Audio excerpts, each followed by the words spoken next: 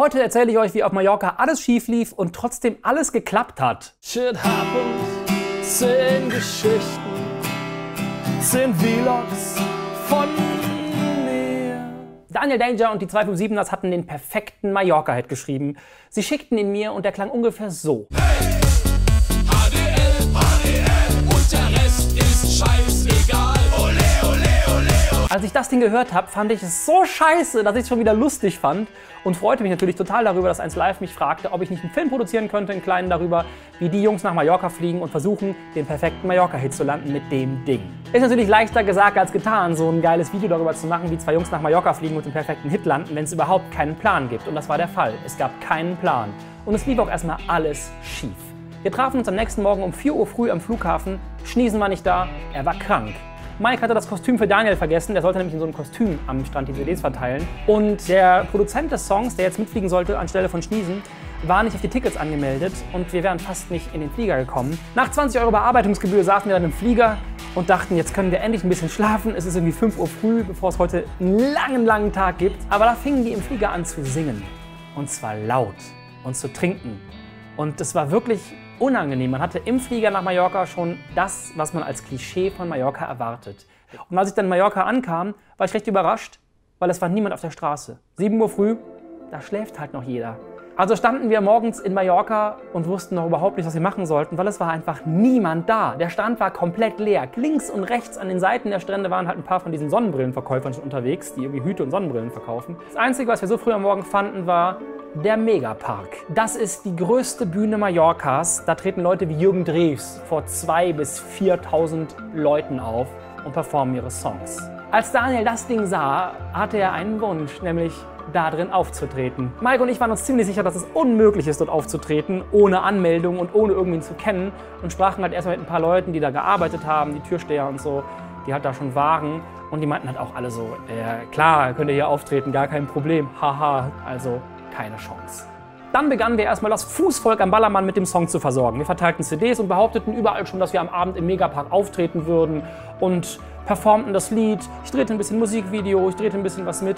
Das einzige Problem war, viele der Leute wollten nicht gefilmt werden und kamen, nachdem wir gedreht hatten, immer wieder auf mich zu und meinten halt so, ey, wenn irgendwas auf dem Internet landet, gibt es Probleme und ich will das nicht. Das heißt, ich hatte nach irgendwie zwei Stunden Dreh kein Material, was ich nutzen konnte.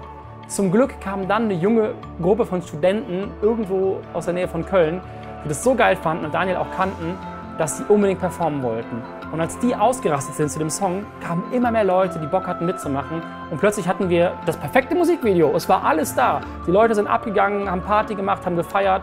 Es sah super aus. Und wir waren damit schon mal ziemlich zufrieden. Somit hatte ich den ersten Akt meines Films im Kasten. Den Anfang, die Ankunft und das erste Performen des Songs und die erste Reaktion der Leute. Aber jetzt fehlte natürlich noch eine gesamte Dramaturgie, um daraus einen schönen Film zu machen. Beim Mittagessen kamen wir auf die Idee, dass wir einfach mal Jürgen Drews kontaktieren könnten. Der tritt ja regelmäßig im Megapark auf und außerdem haben wir vor einem Jahr mit dem mal gedreht. Somit könnte man ihn ja eigentlich mal kontaktieren. Wir fanden raus, wo er war und er war zu dem Zeitpunkt tatsächlich auf Mallorca und zwar in seinem Restaurant, der König von Mallorca, was ungefähr 40 Minuten entfernt von unserem Standort war. Also besorgten uns ein Mietauto und fuhren rüber. Wir überraschten Jürgen Drews unangekündigt und Daniel zeigte ihm seinen Song und Jürgen hatte die gleiche Reaktion wie ich. Er fand das Ding so scheiße, dass er es schon wieder gut fand. Und er sagte uns zu, dass wir am Abend im Megapark auftreten könnten. Und zwar in seiner Show. Gäbe es einen Platz, ich könnte auf die Bühne gehen, das Ding filmen, Daniel könnte auftreten, wir würden diese Chance bekommen. Er würde sich dafür stark machen. Damit hatte ich den zweiten Akt meines Films, aber es war auch gleichzeitig klar, wenn wir diesen Auftritt im Megapark nicht kriegen und nicht auf die Bühne gehen, dann wird der Film nicht funktionieren. Dann wird das ganze Ding zusammenbrechen. Dann muss ich mir irgendwas Neues ausdenken oder es wird halt schlecht. Nachts um zwei standen wir dann vom Megapark, wurden von Jürgen empfangen und der Betreiber des Megaparks hatte keine Ahnung, wer wir sind oder was wir wollen.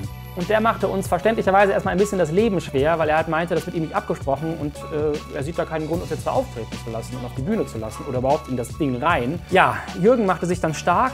Als wir drin waren, durften wir erstmal zum DJ gehen und gaben ihm die CD und sagten ihm halt so, der, der und der Track, dann und dann ungefähr, wenn Daniel auf die Bühne kommt. Und der DJ sah nicht so aus, als hätte er Bock, diesen Track zu spielen. Ich weiß nicht genau, was es war, aber der guckte sich das Ding halt an meinte halt so, ja, ja, muss mal gucken, ob das geht.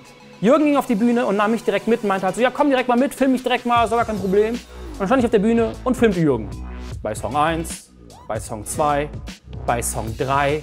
Und langsam bekam ich ein bisschen die Befürchtung, dass das nichts wird. Vor allem hatte ich nur noch einen Akku in der Kamera drin, weil die anderen hatte ich schon verbraucht. und hatte keine Reserve mehr. Und das Ding ging so auf die 30% runter.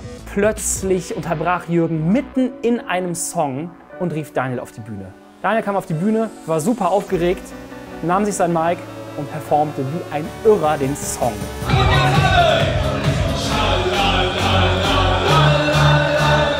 Nach dem Auftritt machte Jürgen aber sofort Programm weiter. Wir runter von der Bühne, er zog sein Ding wieder durch und wir hatten unseren Auftritt.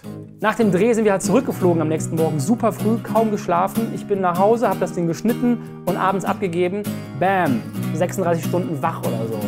Aber es hat Spaß gemacht. Hey, kleine Maus, du hast voll den schönen Charakter ausziehen. Hey, kleine Maus, und der Rest ist auch egal.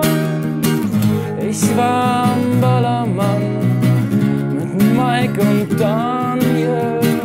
Wir hatten keinen Plan, doch mussten liefern mit der besten dem weltbesten Team. Schafften wir es, mit Jürgen ein Team zu werden. Mike wünscht sich seit Jahren schon, Jürgen Drews um sittlich zu berühren, um sittlich zu berühren. Übrigens, das, das neue Album von den 257, das ist jetzt draußen. Das will ich mir eigentlich mal anhören. Das mache ich jetzt.